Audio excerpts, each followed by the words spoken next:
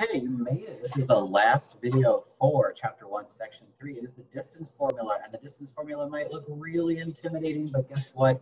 It's not. It's one of those things that the more you see it, the more you practice it, the uh, less formidable it becomes. So what I need you to do is turn to page 23 in your textbook. You're going to copy down the core concept from the top of the page. Uh, it has the uh, formula for the distance formula. I have it copied down as well. And then we're actually going to go right to uh, some of the exercises in uh, the, uh, well, the exercise page on uh, in the book. All right, so let's switch my camera around.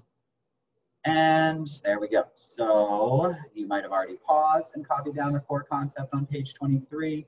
Here it is. It actually is from the Pythagorean theorem. That's something we're going to get to later on in the year. But I'm going to go ahead and turn to page 25 and do number 23 with you, and then you will answer number 24 on, well, right after this with the Ed puzzle. All right. So page 25, number 23, the directions say find the distance between the two points. Oh, and take a look in the directions of the book. It does say to go see example four. Remember, you can always go to the student dynamic ebook and have another way or another explanation of the distance formula. Remember, student dynamic ebook, you can go ahead and play the video. All right, we have a point A at 13 comma 2. We have a point B at 7 comma 10. Now, some of you are already okay with this, some of you are not, and I would appreciate it that no matter who you are, you do the following. We should label our points, all right, right? We have x2 minus x1, y2 minus y1. Well, here is our first x, that's all that that means. Here's our first y that they give us.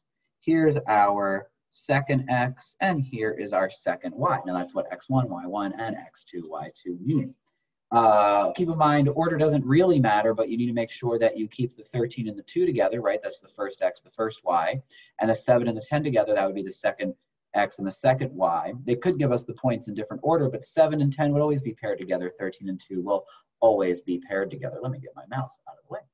All right, so what is the distance formula? Distance between AB is going to be the square root of. Now remember with the midpoint formula, it was an addition sign. Uh, it was always, I wanted you to say the average of the x's divided by 2, the average of the y's divided by 2. Well here I want you to say, all right, the distance is the square root of, all right, take a big pause, and then it is the difference of the x's squared plus the difference of the y's squared, all right? You see how I said that and I wrote it?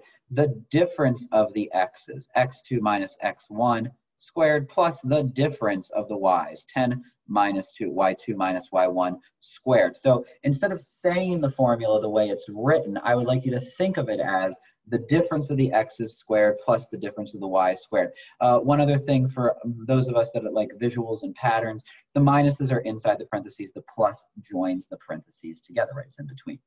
All right, what is 7 minus 13? Well, isn't that uh, just negative 6 squared? Plus, what's 10 minus 2? Isn't that 8 squared? We're going to take the square root of that. All right, well, uh, negative 6, all of it's squared, so that becomes a positive. And 8 squared is 64. 30 plus 60 is 90. 6 plus 4 is 10. That's the square root of 100, which gets us to 10. Now, I'm okay if you skipped a couple of these things and do them in your head, but do them in your head and do them correctly. Uh, if you didn't skip along, notice that I have my notes and my work done in some sort of upside down pyramid that gets me to my answer. What's the distance between point A and point B? The distance is 10. All right. So rewind, take a look at it again if you need to. When you're ready, go ahead and uh, do page 25, number 24, answer it in the Edpuzzle. And don't forget that you need to go to the very end of the video before um, it actually submits your grade. Okay, so make sure you get to the end of the video, even if it's just dead time.